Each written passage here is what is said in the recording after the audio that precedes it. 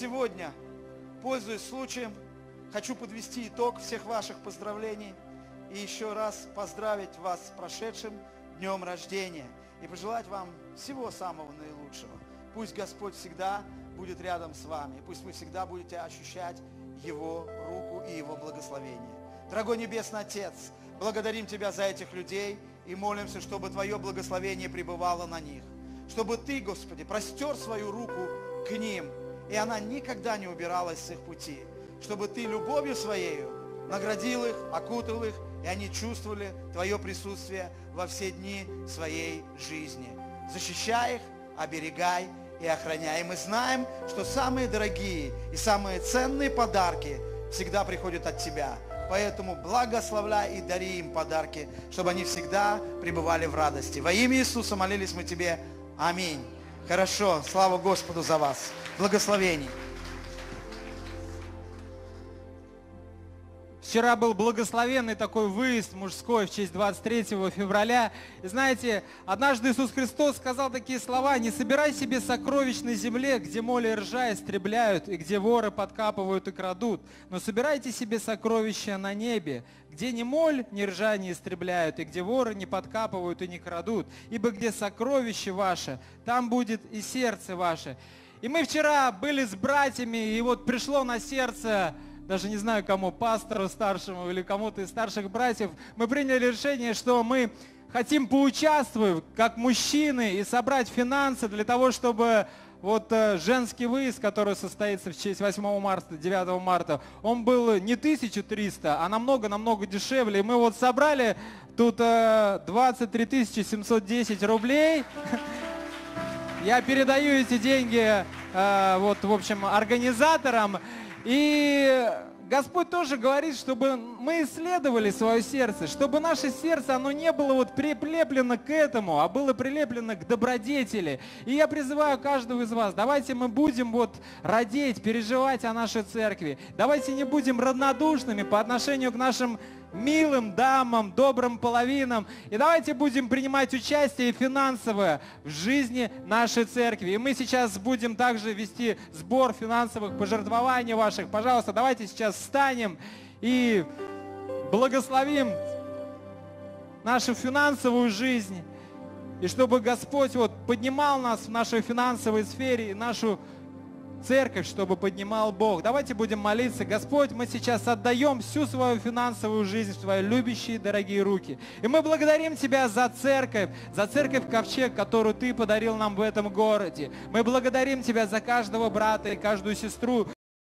И просим Тебя, Дух Святой, чтобы вдумывались в своих путях, о своем сердце, к чему оно прилеплено сегодня, и чтобы мы служили финансами также в Доме Твоем, во имя Иисуса Христа, для созидания Его. Мы благословляем каждого, кто сегодня жертвует в этом доме, на этом месте. И просим Тебя, Дух Святой, воздай во имя Иисуса Христа. Аминь.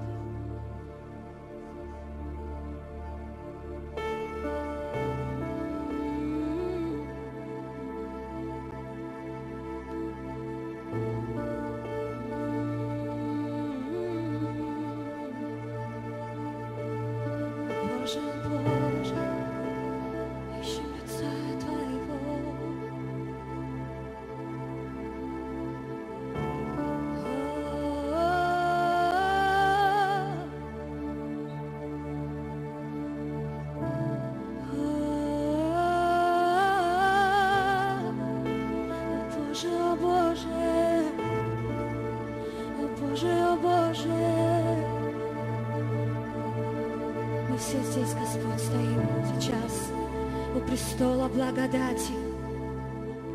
Мы тянемся к Тебе, Господь наш. Мы ожидаем Тебя больше. Твое присутствие, Господь.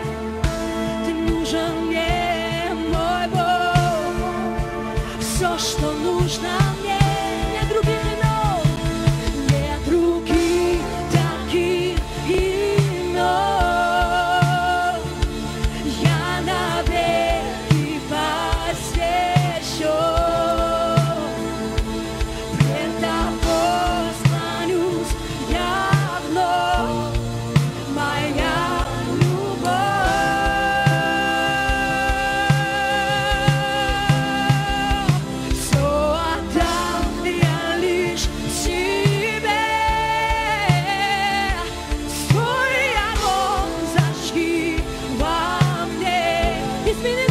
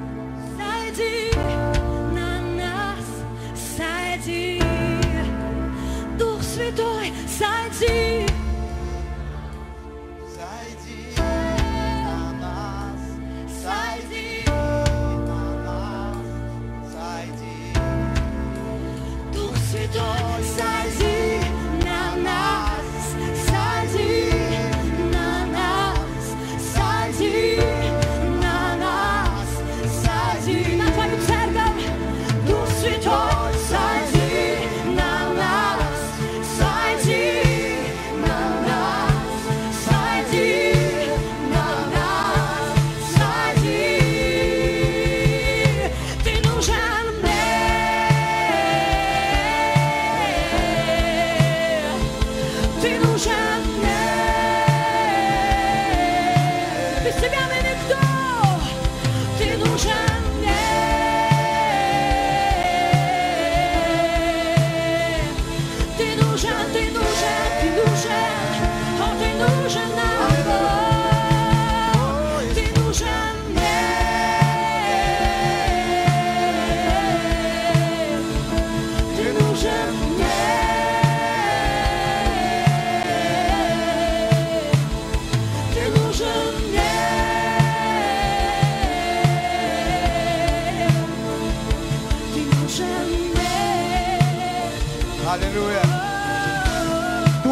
Ты нужен каждому из нас на этом месте. Поэтому мы поем Тебе, чтобы Ты сошел на нас, чтобы Ты наполнил нас любовью Своей, чтобы Ты позволил нашим умам и нашим сердцам слышать, что Ты сегодня говоришь в церкви.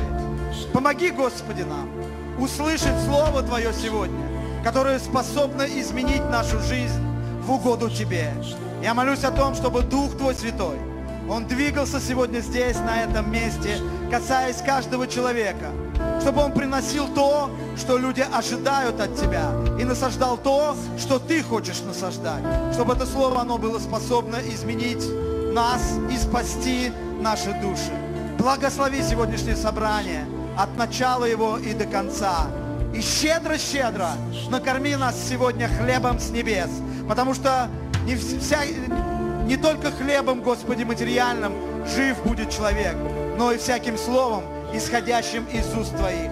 И поэтому дай нам сегодня вкушать от Твоего стола, великий, чудный, дивный, превознесенный, святый Божий. И весь народ да скажет Аминь. Воздайте Богу хвалу и благодарность. Давайте поблагодарим наших левитов. Спасибо вам. Присаживайтесь в любви Божией. Посмотри на соседа, скажи, рад видеть тебя на этом месте. Аллилуйя. Слава Господу. Поприветствуйте кого-то. Если видите незнакомого человека рядом с собой, слева и справа, скажите ему добро пожаловать. Не переживай, ты в семье Божьей. Слава Богу. Обычно у нас все заканчивается хорошо. Иногда бывает нехорошо начинается, но заканчивается у нас всегда все хорошо. Скажи, у нас все будет хорошо. Да, слава Богу. Слава Богу, так и есть. И прошлое воскресенье мы с супругой были в нашей церкви в Краснодаре, откуда привезли вам привет. И передаем вам привет от семьи Арутюновых, от церкви, которая есть в Краснодаре, от братьев, которые там сегодня а, служат вместе с нами в едином духе. И радостно смотреть, как они развиваются. И мы там а, благословили семью Красноружевых, которых проводили здесь. А, я им говорил, людям собравшимся, говорю, задайте себе вопрос, с кем-нибудь из вас приезжал пастор в другую церковь? Они говорят, нет, ни с кем. Я говорю, а мы так людей ценим, что сам старший пастор приехал с семьей для того, чтобы передать вам их, поэтому берегите особенно. И слава Богу, я смотрю по фотографиям уже на мужском служении, Рома присутствовал и принимал участие. И вчера у нас был хороший такой братский выезд. Больше 70 человек, братьев, были на этом выезде. Женщины, я слышал, они, когда у нас будет выезд, когда у нас будет выезд. Ну, дорогие женщины, хоть завтра. Берите, организовывайте. Какие вопросы? Хоть завтра, мы вам поможем. Вот 9 числа мы организовали, или вы организовали а, встречу женскую. Пожалуйста, проявите активность и придите все. Тем более, видите, сумма была 1300 рублей. Туда входят мастер-классы, туда входит хороший шикарный стол. Я не знаю, что еще туда входит. Но что-то входит, если такая хорошая сумма была. И братья вот они решили, говорят, давайте сделаем подарок нашим женщинам. И они так вот эту сумму существенно уменьшат. И в следующее воскресенье в зависимости от количества женщин будет определяться а, стоимость. Потому что вот эту сумму, 23 тысячи, которую мы собрали, ее же надо разделить на всех женщин, а не на только мою жену и еще э, кого-то. Поэтому до воскресенья, дорогие женщины, пожалуйста, запишитесь, запишитесь на эту встречу, потому что э, нам надо объявить цену и чтобы готовился мастер-класс. Будет очень интересно, что-то там готовится необычное. Я, может быть, тоже даже там как-нибудь присоседюсь. Ну, не знаю. Не знаю, что придумать, чтобы меня тоже позвали. Э, вот, и посмотреть хочется, что же там будет за 1300. Аллилуйя. Слава Богу. Слава Богу. Пусть Бог вас благословит. На этом собрание наше начинается. Слава Господу. И вы помните, мы пребываем в послании к семи церквям. Мы уже сказали о Ефесской, Пергамской, Смирской, Феатирской и Сардийской церквях. И мы услышали послание именно к этим церквям. Мы разобрали, что в них было хорошо и что было не совсем хорошо. Мы разобрали ту критику, которую сказал Иисус каждой церкви, и те рекомендации, которые Иисус дал этим э, церквям, обратив особое внимание на эти рекомендации. И сегодня у нас на очереди, на очереди филадельфийская церковь. И прежде чем я буду говорить об этой церкви, хотел, как и всегда, дать вам небольшую историческую географическую справку. Город э, Филадельфия, он находился в 45 километрах на юго-восток от города Сардиса. Помните, я вам говорил, что а, одной дорогой все семь городов были соединены. И тому, кто должен был принести послание этим церквям, нужно было идти от одного города к другому городу по одной дороге. И вот в 45 километров на юго-восток от города Сардиса находился город Филадельфия, который находился в плодородных, урожайных э, землях, и этот город, он славился своим сельскохозяйством. А, но также этот город, он располагался на земле, где часто происходили землетрясения. И он часто был разрушаем этими землетрясениями.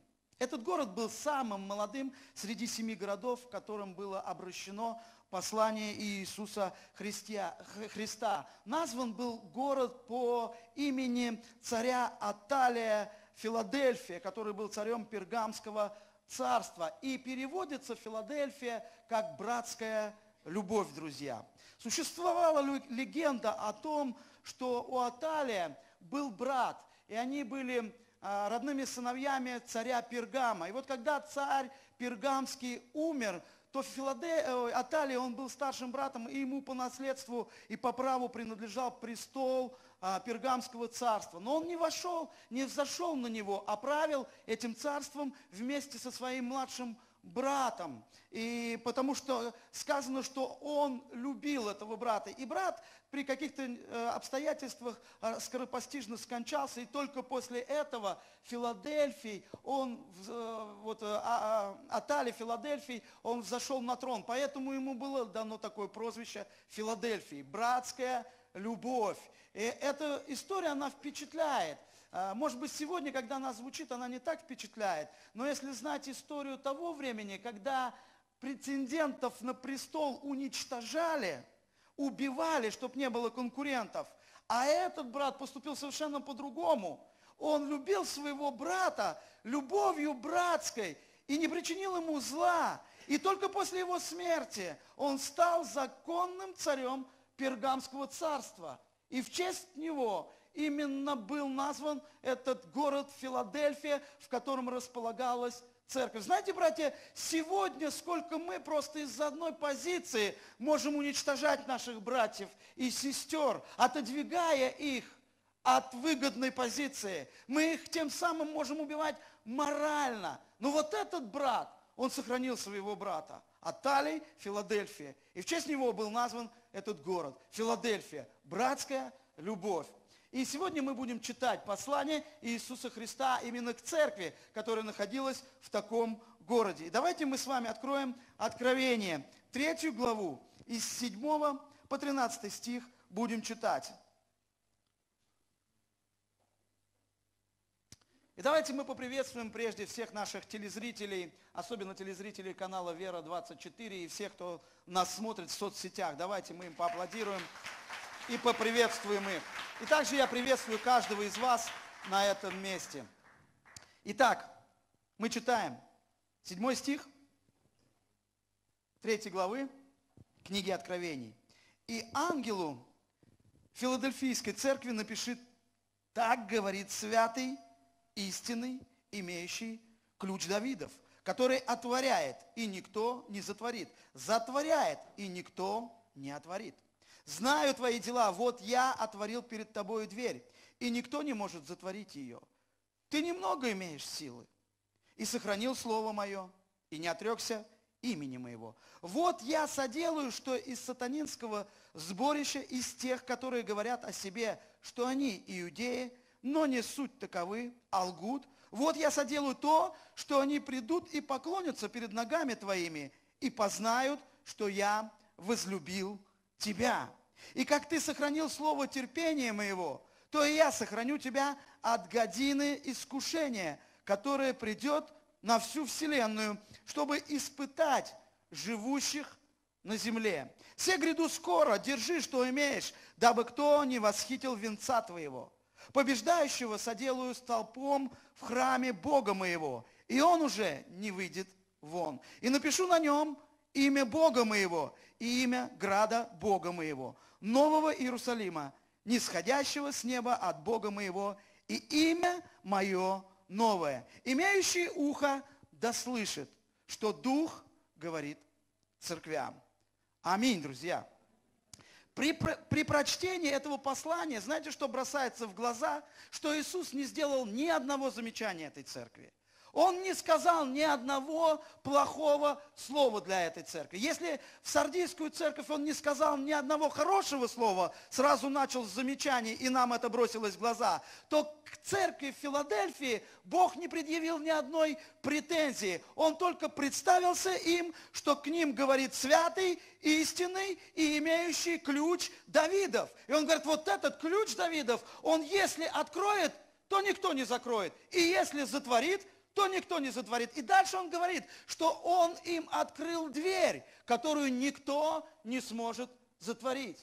И у меня возникает вопрос, что же это за дверь? Или что же это за двери, которые Иисус открывает для филадельфийской церкви, чтобы никто не смог эту дверь затворить. И когда я изучаю Священное Писание, первое, к чему я прихожу, что это двери спасения – которая ведет нас в жизнь вечную.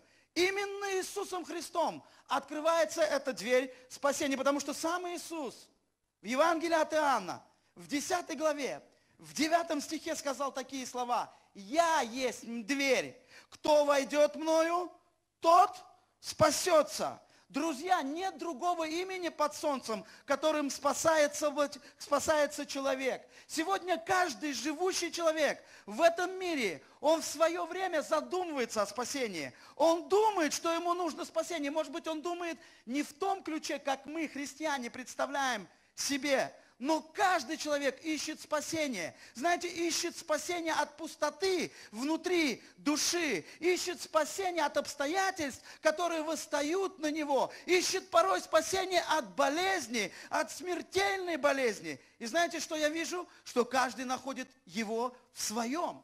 Кто-то ищет это спасение в своем интеллекте. И он думает, что разумение спасет его. Кто-то ищет это спасение у колдунов, у ворожей. Кто-то ищет это спасение в творческом своем потенциале. Кто-то делает бизнес и думает, что его спасение находится именно в занятости, в делах. Кто-то видит это спасение в своей семье, в своих детях. Кто-то ищет это спасение в спорте. Ну вы скажете, пастор, так мы нашли это спасение. Мы сегодня все крестились в Иисуса Христа, в смерть Его крестились. Но знаете, я вижу что? Что сегодня люди, которые сказали Иисусу Христу, да, тоже ищут спасение не в Нем самом, а в служении, в молитве, в, э, в собраниях, в церкви и еще в каких-то вещах, которые сопряжены жизнью, с жизнью в Иисусе Христе. Да, эти вещи, они важны.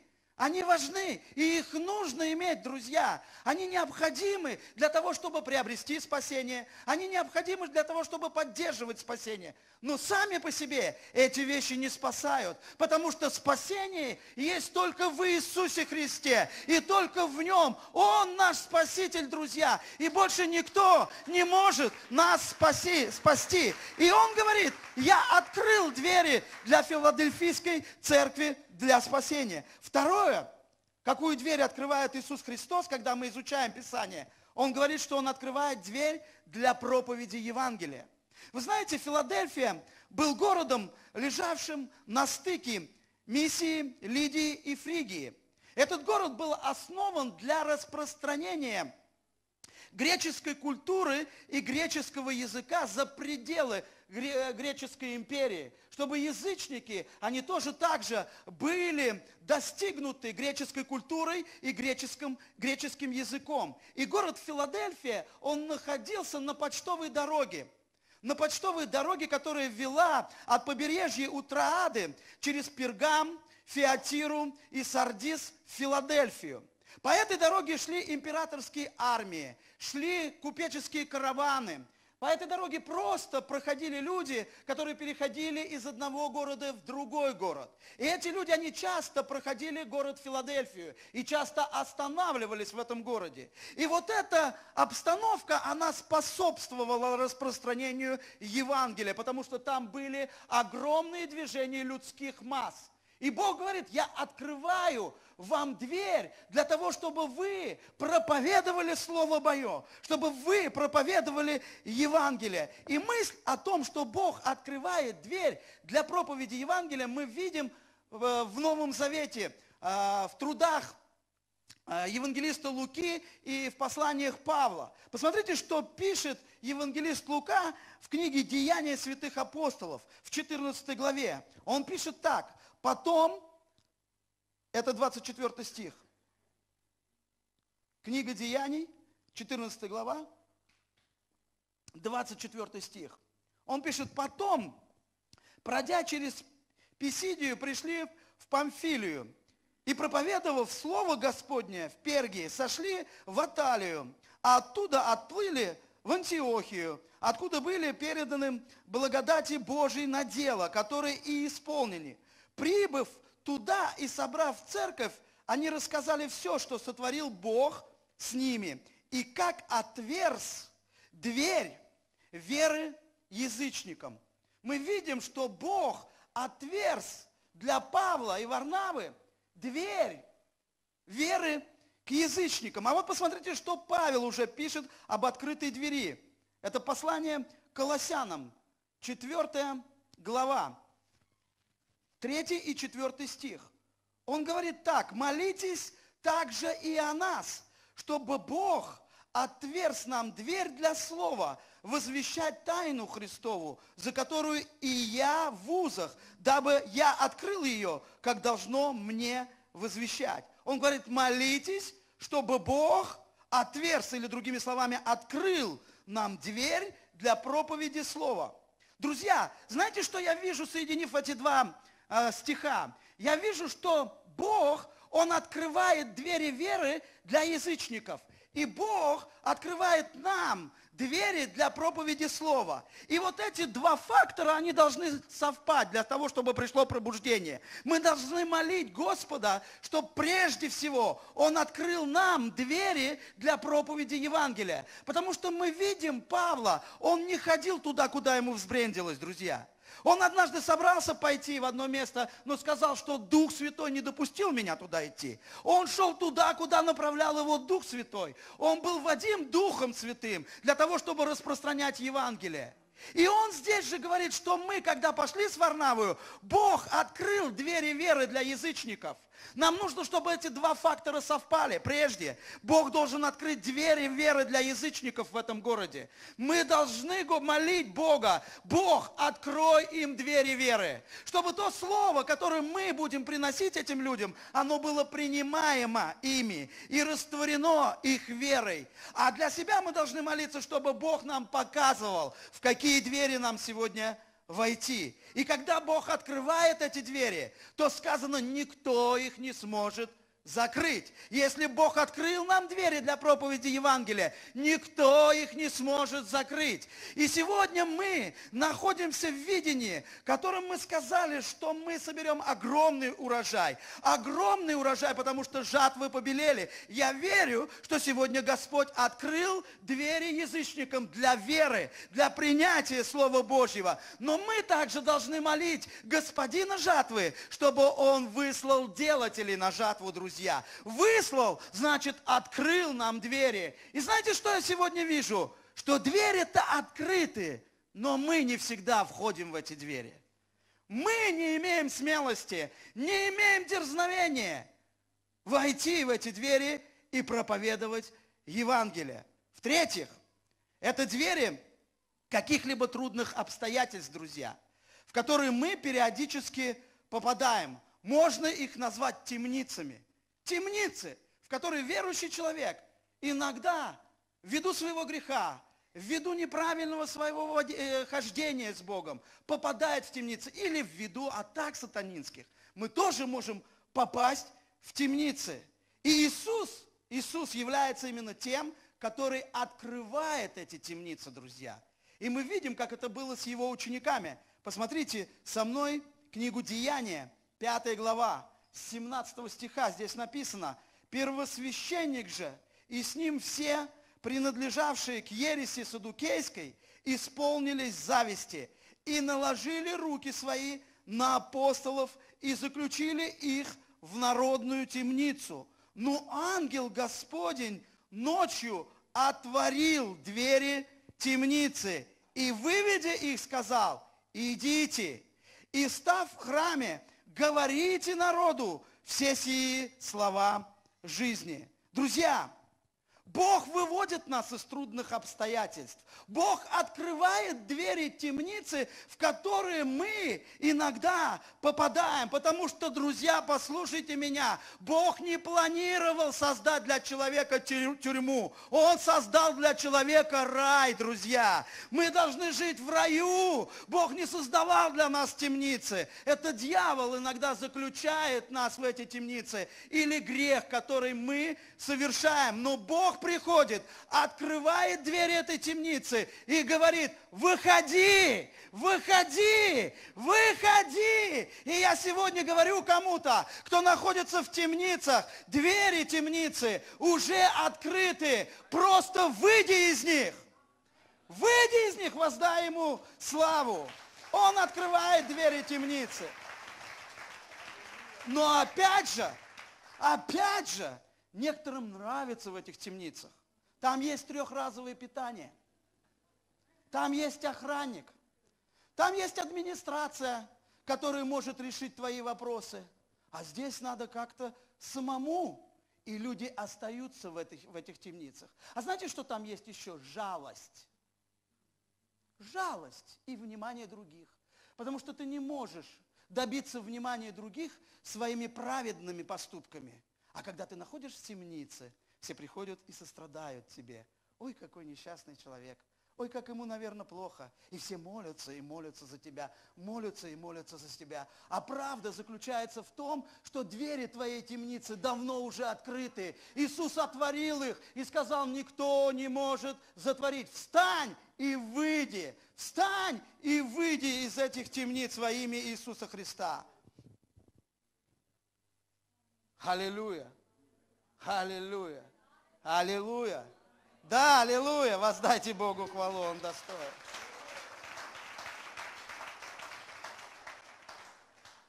Теперь давайте посмотрим, за что похвалил Иисус верующих в Филадельфийской церкви. Вот его слова, это восьмой стих. Он говорит, ты немного имеешь силы и сохранил Слово Мое, и не отрекся имени Моего. И еще в 10 стихе он сказал, сохранил слово терпения моего.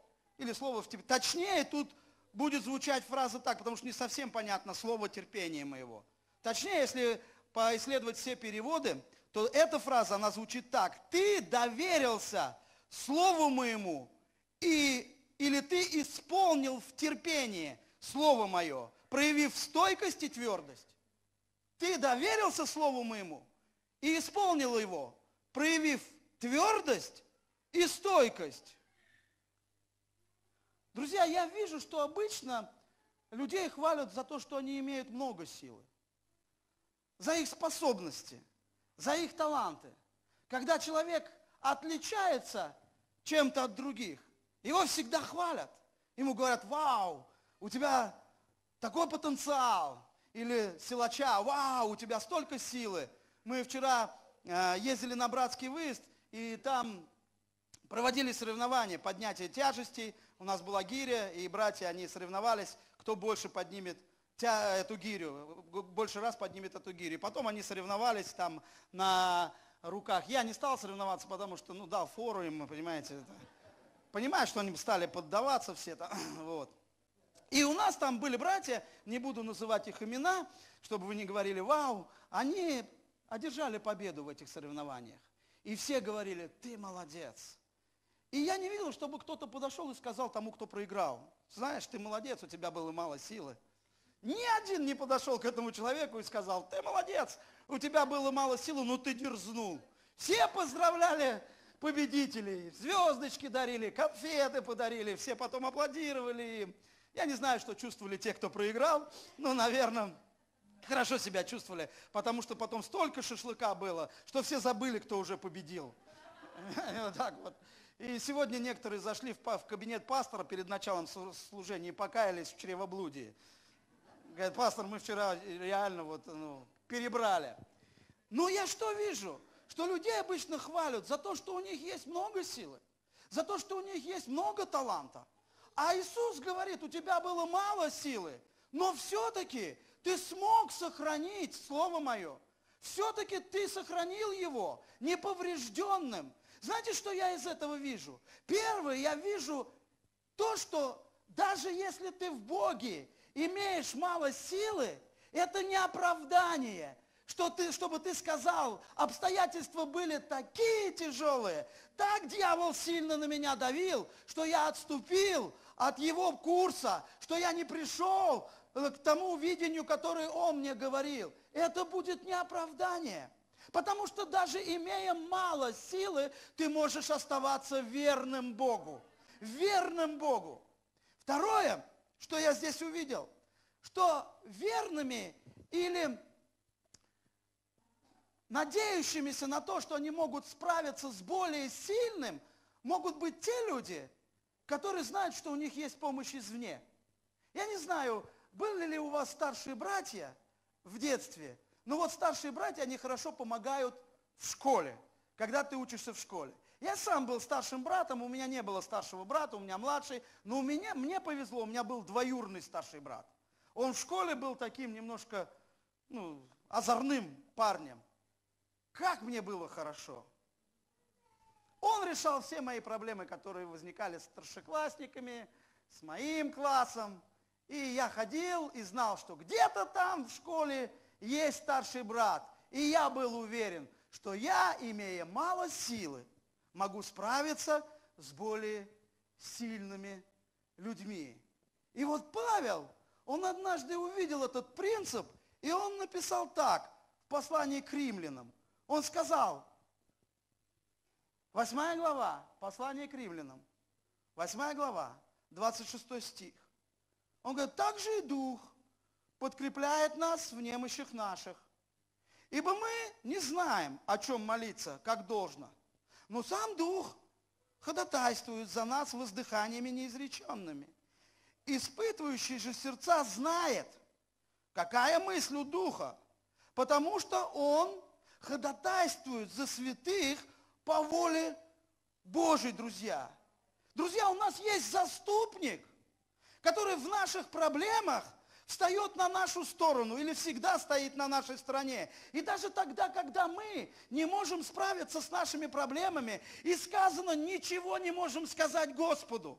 У нас нет слов, мы даже не знаем, как просить. Мы настолько немощны, настолько слабы, что даже не можем обратиться к Господу с просьбой сказать, Господи, помоги. Даже этих слов порой выцедить не можем. Бог говорит, есть тот, который ходатайствует о тебе. Дух Святой, Он знает, знает, что сказать Богу в этот трудный час. Поэтому никогда не отчаивайся. Ходатай всегда на твоей стороне. Он всегда перед Господом имеет ходатайство о тебе. Потому что он твой старший брат. Аллилуйя. Аллилуйя, воздай ему хвалу.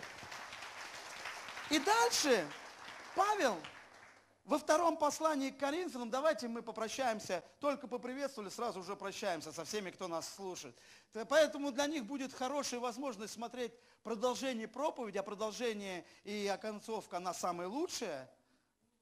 Она самая лучшая. И у них будет возможность продолжить смотреть нас дальше в соцсетях. Поэтому прощаемся с вами, телезрители канала Вера 24.